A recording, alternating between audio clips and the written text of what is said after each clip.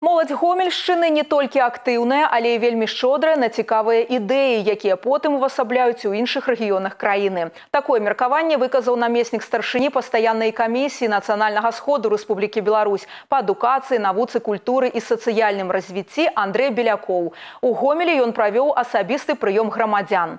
Усе пытанні, якія дэпутаты задавалі людзі, былі сацыяльна значнымі. Напрыклад, малады чалавек выказаў прапанову, каб навучэнцы сярэднеспецыяльных устаноў адукацыі адукацыі і студэнты ездзілі ў аўтобусах і тралейбусах бясплатна. Такія звароты да прадстаўнікоў органаў улады адзначыў Андрэй Белякоў не адзінкавыя. А таму надышоў час вынесці гэта на разгляд чарговай сесіі гарадскога альбо абласнога савета дэпутатаў. Яшчэ адно пытанне было ад шматдзетнага жыхара добружскага раёна, які мае намер пры падтрымцы ўладаў адкрыць сацыяльны цэнтр для маладых маці, якія па розных прычынах знаходзяцца ў складаных умовах жыцця.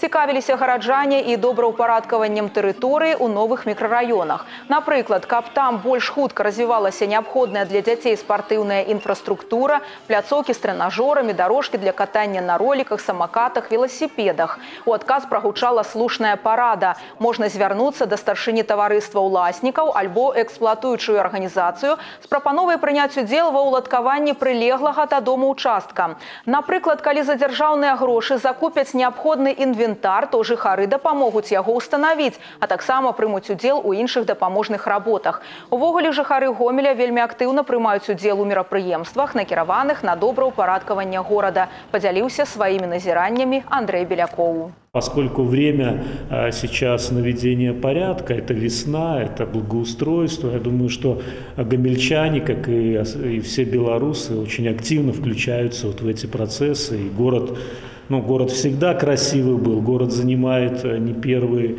э, год лидирующая позиция среди областных городов по благоустройству, но нет предела совершенства.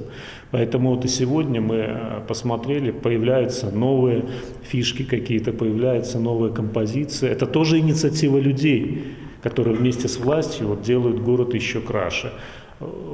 Все должно идти во благо, все должно идти для продвижения именно вперед. И в том числе и приемы граждан, это тоже одна из форм вот этого продвижения вперед.